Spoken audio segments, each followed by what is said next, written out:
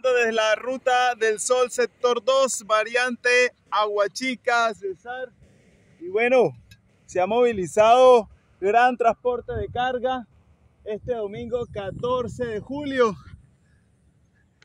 Ahorita pues han pasado varias tractomulas, varios camiones en este que es el domingo final de la Copa América, donde Colombia va a ganar, por supuesto.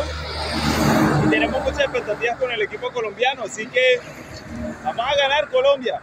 Pero qué bueno ver a nuestro país en movimiento, ver a nuestro país entusiasmado. Eh, eso es economía, eso es productividad, eso es jalonar el comercio de toda esta nación que tantas alegrías nos merecemos nosotros los colombianos y que esperamos que este triunfo también avive el sentimiento de unión, de fraternidad entre todos los ciudadanos de este gran país.